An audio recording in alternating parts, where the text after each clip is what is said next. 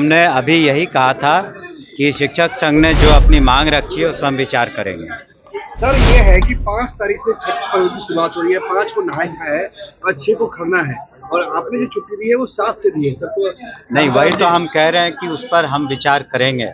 हमें अभी जाने दीजिए और उस पर हम विचार करेंगे अपने पदाधिकारियों से जो उचित होगा हम लोग नमस्कार आप देख रहे हैं न्यूज़ फोर नेशन मैं आपके साथ अजय सिंह। बिहार के सबसे बड़े पर्व छठ में जो बिहार सरकार के द्वारा सरकारी स्कूल में छुट्टी दी गई है, जिसको लेकर जो शिक्षक संघ है, वो काफ़ी गुस्से में है और सरकार पर सवाल खड़े कर रहे हैं। तो वहीं शिक्षा मंत्री से जब सवाल पूछा गया कि जो छुट्टी में कटौती की गई है, जिसको लेकर सवाल खड़े कर, किए जा रहे हैं, उसको लेकर शिक्षा मंत्री साफ़ तौर पर कहते हुए जा रहे हैं सुनील कुमार कि हम इस पर विचार करेंगे, जो शिक्षक संघ है, इसका जो कह रहे हैं, उस पर हम विचार करेंगे और जिस तरह से ट्रांसफ़र पोस्टिंग का जो पॉलिसी लाया गया उसको भी विरोध हो रहा है, उसके लेकर क्या कुछ कर रहे हैं शिक्षा मंत्री पहले सुनिए उनकी बातों को। आप सभी को नमस्कार।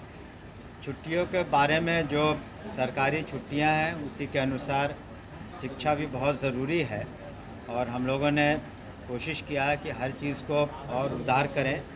कुछ छुट्टियाँ अभी हाल में भी हम लोगों ने बढ़ाई थी, उस पर हम लोग विचार करेंगे। और, लेकिन जो पठन पाठन है, जो सिलेबस है उसको भी पूरा करना शिक्षकों का कर्तव्य होता है। और हम लोगों ने देखा होगा, आपने अभी ज्योतिया पर्व था और भी पर्व थे तो कुछ कुछ छुट्टियाँ दी थी तो उस पर हम ज़रूर विचार करेंगे। लेकिन शिक्षकों को ये ज़रूर सोचना चाहिए कि सिलेबस को भी हम लोग को समय समय पूरा करना है। और उनको ये भी ध्यान में हम लोगों ने रखा है, पिछली बार भी हमने बताया कि जितने प्रधान अध्यापक हैं उनको हम लोगों ने पचास पचास हज़ार रुपये दिए हैं ताकि वहाँ पर छोटी मोटी जो कमियाँ रहती हैं स्कूलों में चाहे बल्ब नहीं है इलेक्ट्रिसिटी का शौचालय का पेयजल के तो उनका अधिकार क्षेत्र में ये रहेगा साफ़ सफ़ाई कि वो कर सकें। आ, और आ, इस तरीके से हम लोगों ने हर तरफ़ ध्यान दिया है लेकिन उनको भी ध्यान देना चाहिए। उनकी सुविधाओं का हम लोगों ने ध्यान रखा है और उन्हें भी ध्यान रखना चाहिए। कि सर समय अच्छे तरीके से बच्चों को पढ़ाएँ। का कहना है कि जब बच्चे ही नहीं आते हैं तो पर्याप्त मात्रा में शिक्षक जा करके क्या नहीं हमने एक एक ही वाक्य में कहा कि हम उस पर विचार करेंगे स्थानांतरण पॉलिसी को लेकर तमाम शिक्षक जनप्रतिनिधियों ने आपसे मुलाकात की थी। क्या कुछ निर्णय निकल कर सामने आया क्या देखिए उसमें जो अब तो स्थानांतरण नीति हम लोगों ने पब्लिक डोमेन में भी ले आया सभी शिक्षकों को पता भी है और उसका सॉफ्टवेयर तैयार हो रहा है। मेरे ख्याल से दो चार दिनों में तैयार हो जाएगा और उसके बाद पंद्रह या बीस दिन हम लोग जैसे वो तैयार हो जाएगा तो पंद्रह या बीस दिन समय देंगे उस पोर्टल पर अपना एप्लीकेशन अपलोड करने के लिए जो चाहते हैं स्थानांतरण और पर्याप्त समय देंगे ताकि उसको हम लोग फिर उसको एसेस कर सके और उस सॉफ्टवेयर के अनुसार हम लोग उसका आगे की कार्रवाई कर सकें पूछ लीजिए पूछ लीजिए। छठ की छुट्टियों में भी कटौती कर दी गई है इस पर देखिए हमने अभी यही कहा था कि शिक्षक संघ ने जो अपनी मांग रखी है उस पर हम विचार करेंगे। सर ये है कि पाँच तारीख से छठ पर्व की शुरुआत हो रही है पाँच को नहाय है और छह को खरना है। और आपने जो छुट्टी दी है वो सात से दी है। सर तो नहीं वही तो हम कह रहे हैं कि उस पर हम विचार करेंगे।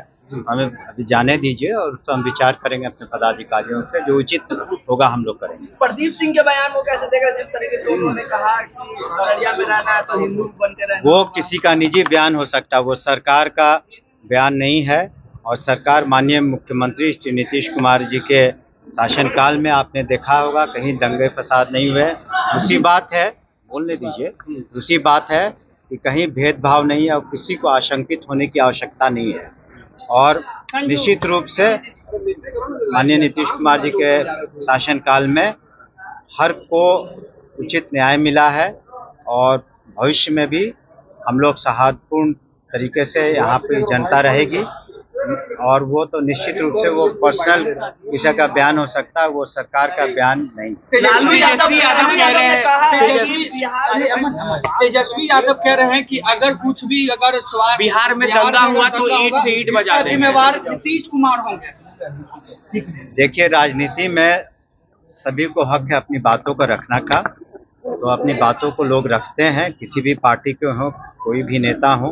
लेकिन जो हमारा स्टैंड है बिहार सरकार का माननीय मुख्यमंत्री नीतीश कुमार जी का स्पष्ट है कि हम लोग सबको साथ लेकर चलते हैं और इस राज्य में किसी को डरने की आवश्यकता नहीं है, अशांति का प्रश्न नहीं उठता है। यहाँ कानून का राज स्थापित है और कानून सबके लिए बराबर है, किसी को के साथ भेदभाव नहीं है और सभी कोई आज तक शांतिपूर्ण तरीके से रहेंगे।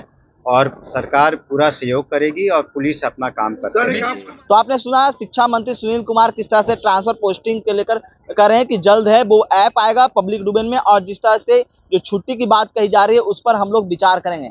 इसी तरह तमाम खबरों में न्यूज़ पॉइंट के साथ नमस्कार।